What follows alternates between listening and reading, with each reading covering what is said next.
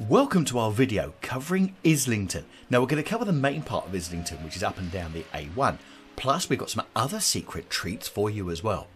Now what you'll notice in this video is there's plenty of places to eat in this area. So the good news is if you're hungry you're never far away from somewhere to stop. So do keep watching because not only are we going to bring you this area that's just tucked away, but we're also going to bring you the Regent's Canal which passes through and underneath the streets of Islington, comes out the other side and you wouldn't believe that from the views that you're in central London. Now, Islington as a borough contains 22 different areas, which is as diverse as this area, which is round by Angel, down to King's Cross, Holloway, Old Street, Pentonville, and other numerous places around this part of London. Now, this cinema is the Screen on the Green and was opened in 1913 and is one of London's oldest continuously running cinemas.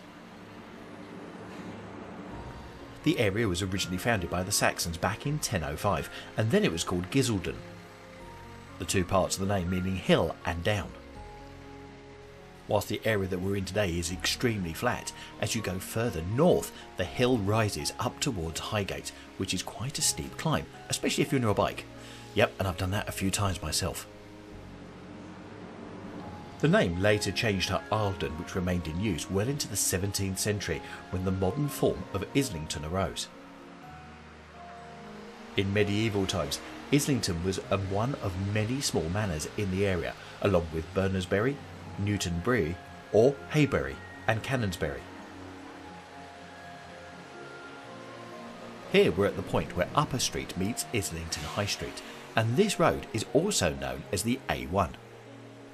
This road, the A1, leads all the way from London, all the way to Scotland, to Edinburgh. Now, as we get here to Islington High Street, I love this feel of sort of a villagey feel, and you get the same sort of feel when you're down in Hampstead, and we've got a video coming up on that later on this year. With the tree lined streets and also all the cafes spilling out onto the pavement, there really is a lovely relaxing feeling as you come down here.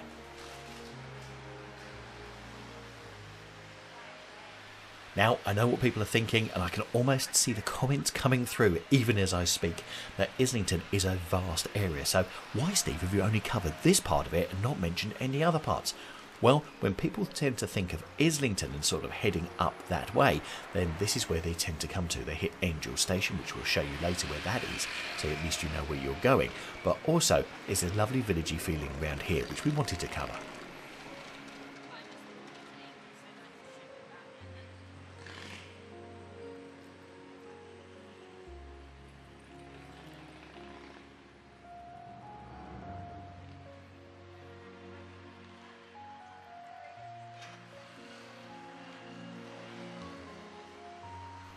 Now, for many people coming to this area, it's quite often because they're coming to this place, which is coming up on our right hand side, which is the Business Design Centre in Islington, which holds many conferences. Which is a perfect thing to remind me to tell you whilst they've got the podcast show happening there at the Business Design Centre. If you haven't caught our podcast yet on your favourite podcast provider, don't forget to go in, type in London Visited, and you'll find over 100 episodes that we've done already. Okay, so we've given you a quick guide to what Islington High Street and Upper Street looks like. But to tell you what, let's go find what's hidden just behind the main roads. As I always say, if you dive off the main roads, that's where you really discover the great places to go and see in London. Here, we're now coming into the area known as Camden Passage.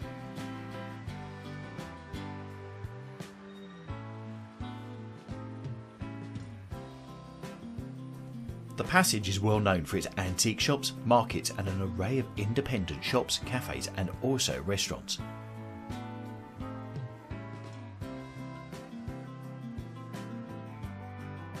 The passage runs parallel with Islington High Street and is about 20 metres away from it. So get out your phone, look on your Google Maps, and you won't believe how close it is, but how away from Islington High Street it feels.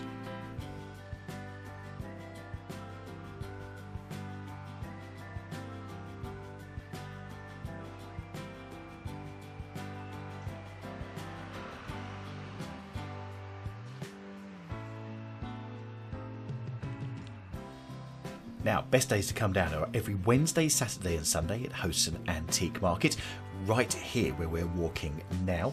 Also, there's a book market on a Thursday and a Friday as well, and then a market with an eclectic mix of vintage and retro clothes, pictures, vintage luggage, interesting one off items, collectibles, and bric a brac on Wednesdays, Fridays, Saturdays, and Sundays. If you can't make those particular days to see the markets, then don't worry. The shops, the restaurants, the cafes are open seven days a week down here. I think this is one of these secret gems of London. Just look at all the different coloured buildings as well, really brings it to life.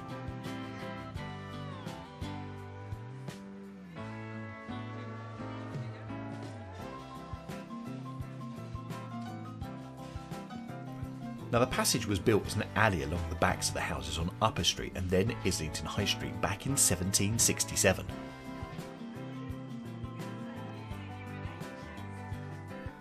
The Antiques Market was founded in the 1960s in conjunction with the Metropolitan Borough of Islington, but the venture was initially successful, attracting over 350 traders. But recently, the centre of Islington has undergone regeneration, leading to higher rents being asked at the renewal of the leases.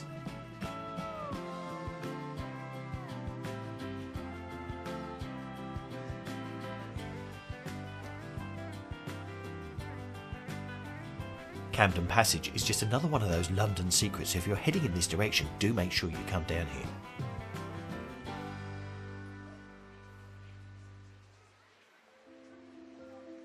The Camden Head pub here on Camden Passage is well known for its comedy nights and actually has a comedy night every night of the week. So if you're in the area and you're around in the evening, then it might be worth popping your head in, see who's on stage, who's up and coming, and who may make you laugh.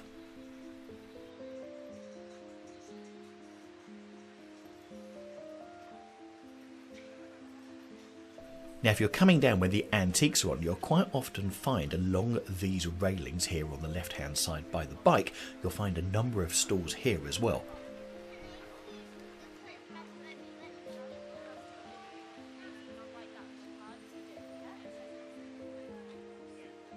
It's great to find places in London with individualistic shops, so this is a great place to come. And if you're wondering what the Bunting is doing going across, because we have the Queen's Platinum Jubilee celebrations happening very, very soon, this was filmed just before those celebrations.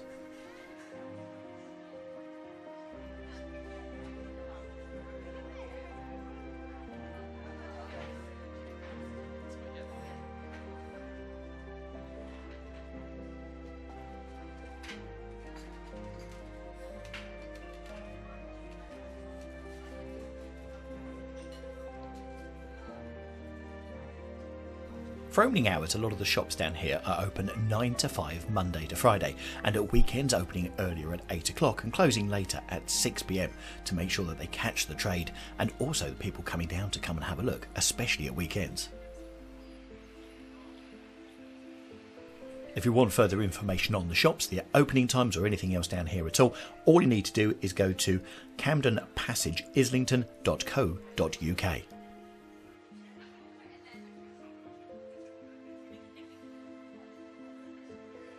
If you're in the UK or watch some of the UK programmes, you may recognise some of these places down here, because Camden Passage has made lots of appearances on programmes such as Cash in the Attic, Bargain Hunt, and other TV programmes.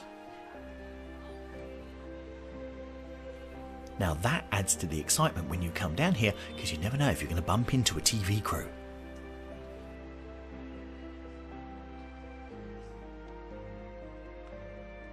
One of the retail areas that's really expanded down here are the health and beauty sector. There's even a day spa down here, so if you're coming down, you could book that in advance.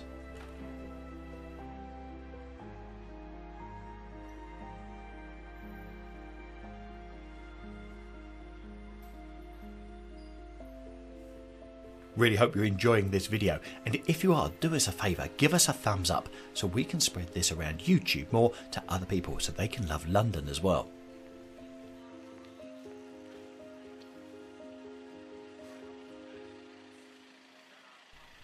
As we leave Camden Passage, we're going to take a three minute walk to our next delight to show you over here in Islington.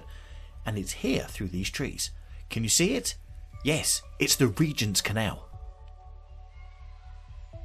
Now, we've previously covered the Regent's Canal in a walk that we did going from Coal Drops Yard over at King's Cross all the way round to London Zoo at Regent's Park via Camden Market. Here, we pick it up at Islington as it comes out of the tunnel.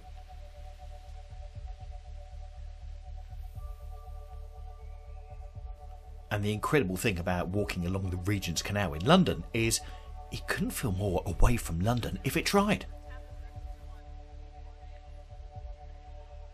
Now, this tunnel, which cuts underneath Islington itself and is also marked by waymarkers above on the street so you can see where the tunnel is going, is nearly one kilometre long, 878 metres. The tunnel was opened in 1818 and it takes you from here at Islington all the way to nearly through to King's Cross.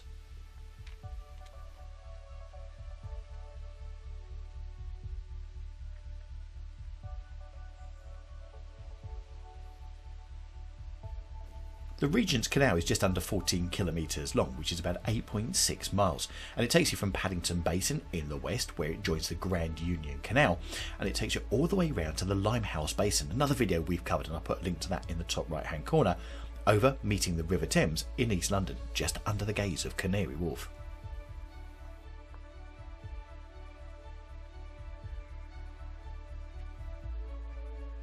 The Regent's Canal, opened in the early 1800s, was built so it could actually transfer goods coming in from the Midlands via the Grand Union Canal all the way round to Limehouse Basin. And at Limehouse Basin, it could get onto seafaring ships which would take the goods from the Midlands all the way overseas.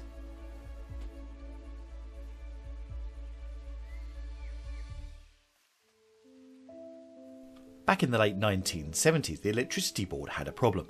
How are they going to transport 400 kilovolt cables around London as part of the national grid to be able to get power to all parts of London? And then they thought, we can use the towpath of the Regent's Canal. So underneath the pattern brickwork are the cables carrying this voltage. Because of the volume of roads in London, there are so many bridges to go through and under. A lot of them are quite low, so if you're tall, you're going to need to duck. But as you go through, you always get an amazing view out the other side. And how about this one? And actually, would you actually believe that you are that close to central London when you're looking at this old mill area? The weeping willow trees by the side of the water really add to the scene. And once again, it's so hard to believe that we're so close to central London here at Islington.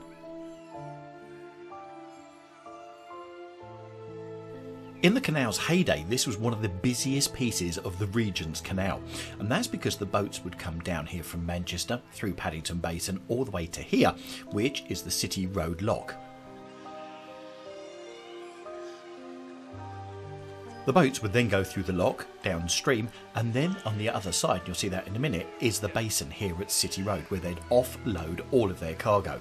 And this is why you have warehouses, you've got wharfs, you've got various other bits and pieces which still remain, although a lot of them have now been put into modern buildings. And you can see here are flats overlooking this area or offices. The locks are still in use today by leisure boats, and if you hang around long enough, like we did here, there's a guy that's closing the gates ready for a boat to come through in the other direction. As with all the other locks on the canal, the City Road lock was built as a pair of locks. The use of paired locks was partially to save water, as water could be transferred between the locks rather than discharging it all into the lower pond when a lock was emptied. This made the operation of the locks a lot more complex, and they were permanently manned during the heyday of the canal. Following the end of commercial traffic and the growth of leisure boating, the locks were reverted to operation by boat crews because before they'd had lock keepers who had to work a 24 hour system to make sure there was coverage at all times.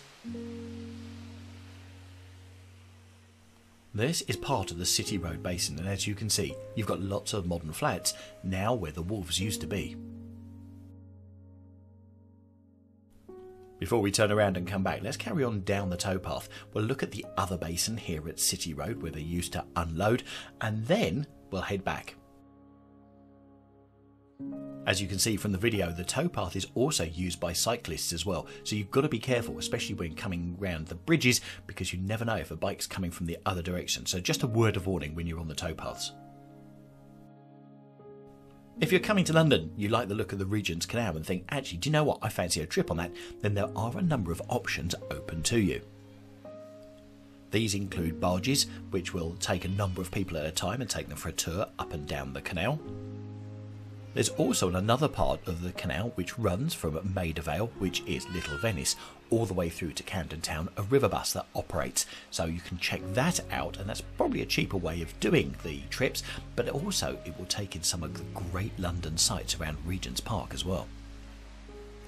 And one final way to get on the water is over at Paddington Basin. There's a, a company called GoBoat where you can hire a boat over there and take it up and down the canal. I don't know what the prices are like, but if you're interested, go have a look. So the canal from Islington High Street is no more than a five minute walk. And here on Islington High Street, if you fancy getting some food, there's an Amazon Fresh shop, which is one of the few that they have in London at the moment. And back on the main road, what we'll do is we'll show you where the station is. So it just gives you your bearings and how easy it is to get anywhere because you've got Angel Underground Station very close by.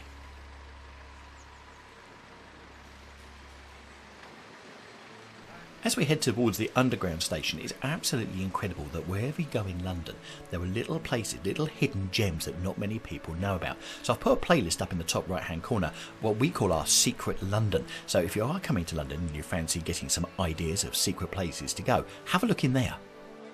One thing to remember if you're getting around London, another great way to do it is to hire the Santander bikes. These give you great flexibility. As you've seen, there are many buses that get here to Islington High Street, but the nearest underground station is this one here at Angel, which is on the Northern Line. It's also the one with the longest escalator on the network as well. In 2006, a Norwegian man made the headlines after skiing down the escalator at the station. Yeah, I think he must have missed the snow slopes. So, what was your favourite part of the tour around Islington? Was it the Regent's Canal? Or alternatively, was it the shops down in Camden Passage? Or was it just the walk down Islington High Street? Let us know in the comments down below. We've shown you Camden Passage, which is also famous for its antiques, but the most famous place in London for its antiques is the Portobello Road, and we've been there. And here's a video up in the top right hand corner of our visit to Portobello Road, so if you click on that, I'll see you in there.